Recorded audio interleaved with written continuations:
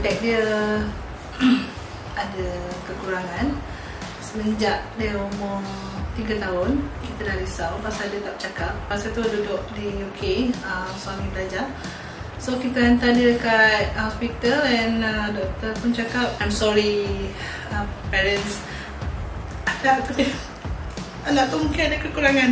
Mula-mula saya masuk uh, poli tu saya rasa uh, bolehlah dikatakan takut sebab uh, apa saya yang jumpa semua yang saya tak kenal.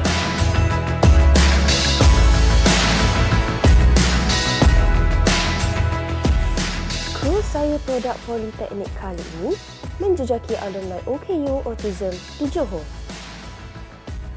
dia kata uh, I'm sorry uh, parents anak tu anak tu mungkin ada kekurangan but you have to mm, kena uh, terima. Lepas tu dan cuba atasi dia kata.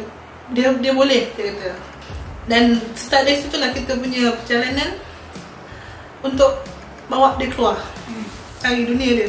Pasal sebelum tu memang dia tak respon Uh, Alhamdulillah de- uh, saya belajar di Politeknik uh, saya seronok dapat jumpa kawan ramai dapat belajar dengan elok dan syarah-syarah faham saya tentang pembelajaran saya saya sekarang ni kat UTM kerja dengan ayah saya saja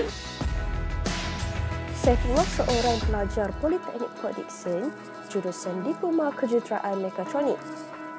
Beliau mempunyai minat yang mendalam terhadap subjek matematik. Penyebaran saya uh, automation dan matematik.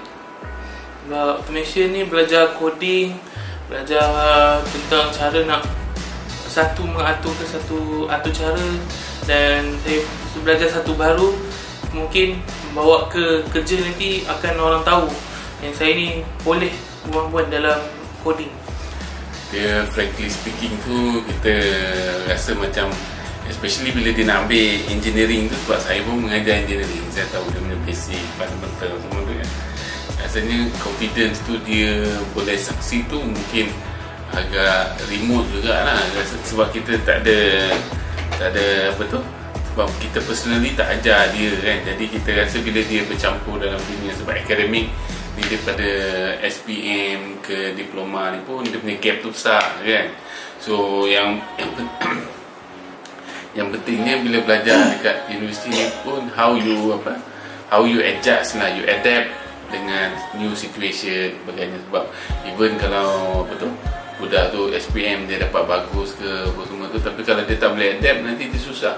Dia susah nak uh, sesuaikan diri dengan suasana pembelajaran di universiti ke ataupun poli sebagainya. Itu yang lebih penting. Sebab tu saya always advise dia sebab saya pun tak boleh tengok dia sentiasa lah sebab dia duduk jauh saya akan dia uh, cara macam mana nak belajar. If you have any problem you go jumpa. Tanya. Jangan segan lah malu kan. Sebab kalau malu tu memang tak boleh pergi mana kata. Anak kedua daripada enam orang adik-beradik ini sentiasa berharap dapat menambahkan ilmu ke peringkat ijazah walaupun beliau adalah seorang OKU Autism. Menyedari hakikat itu, beliau terus berusaha menjadi yang terbaik. Cuma itulah dia ni dia bila dia masa dia belajar tu dia mungkin dia ada banyak distraction jugalah sebab dia dia su- suka volunteer.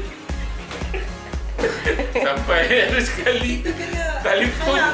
telefon dia pun dia pergilah dengan wanita.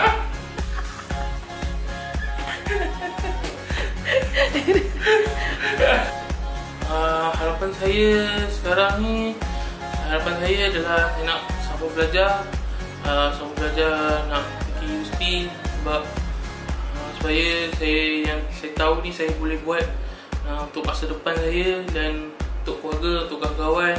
Uh, terima kasih banyak lah pada tolong uh, apa uh, buat bagi kerjasama kat saya dan selama saya susah tolong saya.